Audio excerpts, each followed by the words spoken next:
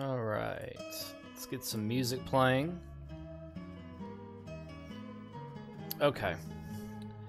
So, what we have here is the mid Blazit uh, strategy. And what I'm going to do is kind of walk through it frame by frame to kind of show you some of the subtleties that are required in order to get this a little bit more consistent. It kind of seems like a crapshoot at first. So what you want to do, you'll see I fell it here because I pressed left. Not only do I press left too late, but I jumped a little bit too high. So we're going to wait for the next attempt. And basically the difference between Blazit with Luigi and Blazit with Mario is that Luigi you want to hold left whenever he's ascending. So when he's in his upward trajectory, whatever you want to call it, his ascent, uh, you'll see that's when I press left. I don't have the uh, D-pad on the screen or anything, but so just keep watching. So he's still in his upward trajectory. Now that right there. So you see those leaves or whatever those things are in the wall? It's like I think I press left right when he touches that green leaf. No, not not right when. Hold on, let me see here. Right there. So you see he's still in his upward movement or whatever. I'm just gonna go with trajectory. And he's it looks like he's going back down, but really he's still in his upward movement. And that's when you tap left right there. And you also do a medium um let me see what button it is here. I guess it's B. It's been so long since I played Super Nintendo, sadly. Um, so you press B very, not too lightly, but it's not a strong B press. It's kind of like, uh, I don't know, it's hard to explain, but you don't give it a firm B press. It's kind of a, a mid-grade B press, if you will. So it's not a flick. It's not that light of a B press, but you get what I'm saying. And then, of course, hold left, and then while you're holding left, mash, mash, mash, mash as hard as you can. So you can kind of see the general location. And, and again, this is me um, holding right at the very beginning of this section, right? And I don't tap left at all. I don't stutter, nothing and uh, I press start here and create a save state to preserve my pixels and everything. So you'll see right there, I make the save state.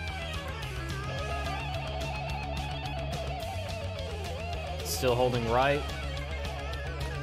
Getting ready, so let me see where I jump. Okay, I jump right here. Hold on, let me see. Right here. Yeah.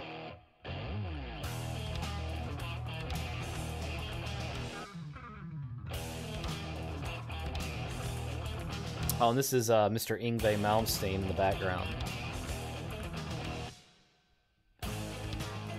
Okay. See, we're still on that upward ascent trajectory, whatever the word is and I start pressing left there. At least I feel like he's still going up. I, I don't feel like he starts falling. Um, and if he is, it's like very, very, very late.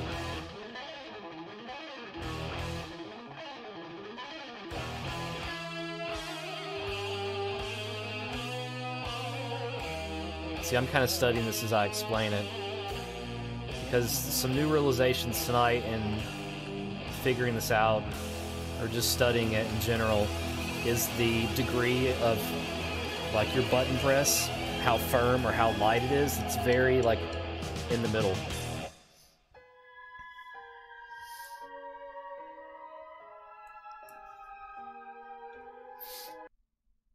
Let's find another song. Okay. Alright, so... Yeah, it's right there on that blotch, or that dot, like right there is where I jump. And if I could describe the button press, it would be like...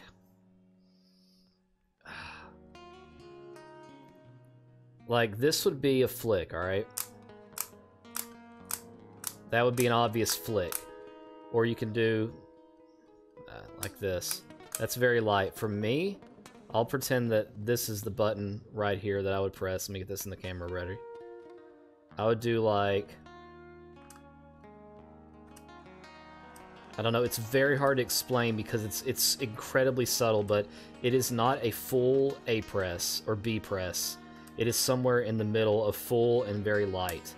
And that'll give you the, the specific um, height that you need to get this like mid-level blazit instead of the flick blazit or whatever you call it.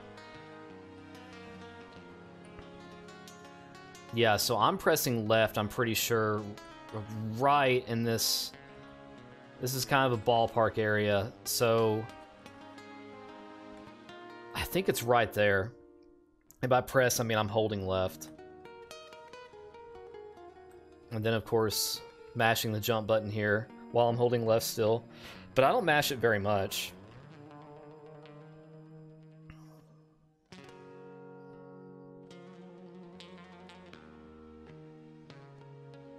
And there's 314, that's really good. I usually get either... I don't think I've ever got a 315. And more often than not, I get a 313. So you can see, we'll see some of the failures here too.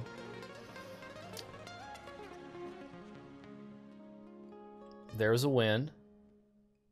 Let's just play it kind of... I was gonna say normal speed, it's not normal speed, but this is V-dub. Let's just not slow down at all. Now we'll slow down.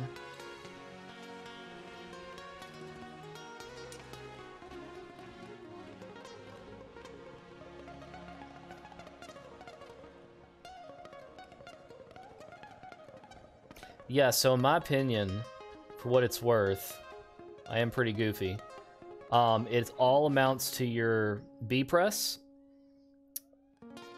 and it's three things: the B press when you hold left, um, and your mashing technique, which is actually less involved, I think, with Luigi than is with Mario. So don't overshoot it. Mario, you have to. I don't know. It's a I wouldn't say it's more nuanced, but it's just a little different with Mario. Maybe on the more aggressive side. I don't know.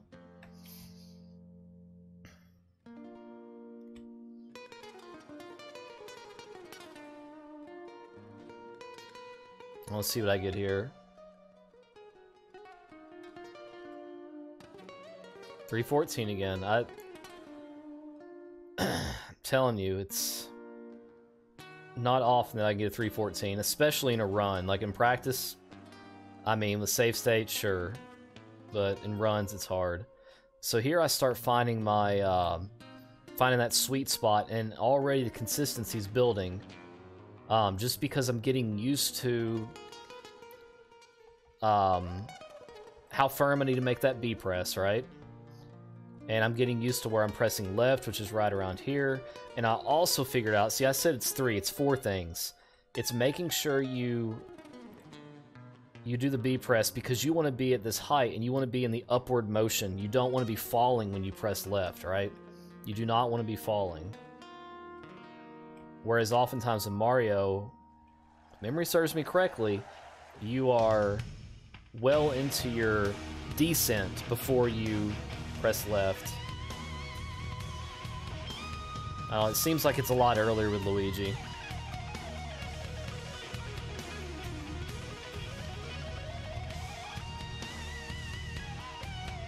Now I'm just screwing around here. But yeah, that's... I don't know, that's the best way I can... I mean, I'm sure I can explain it better than this, but I'm not going to edit this video. This is just me riffing. Um, but I hope that that makes some sense of this trick, especially doing it uh, kind of in the mid region of the wall instead of down here. Um, I, I don't think it's any less difficult up here than it is down here, and vice versa. In fact, it's more advantageous to do it in the middle because you might accidentally do a wall jump, and then the wall jump will get you, you know, up here instead of down here in the marinara. So yeah, I think if anything, you should probably go for the middle one always. Knowing me, if I ever come back to this, I'll probably try both, just, you know, just because it's me, and I like to spice things up, but I know ultimately I'm, I'm probably going to stick with the middle one for this for what I just said. Reasons I just said is that it's kind of uh, got a fallback plan. If you screw it up, you'll maybe wall jump up here instead of laying down here. So, but yeah, that's kind of what I figured out, and um, I hope that helps. See you, Evad.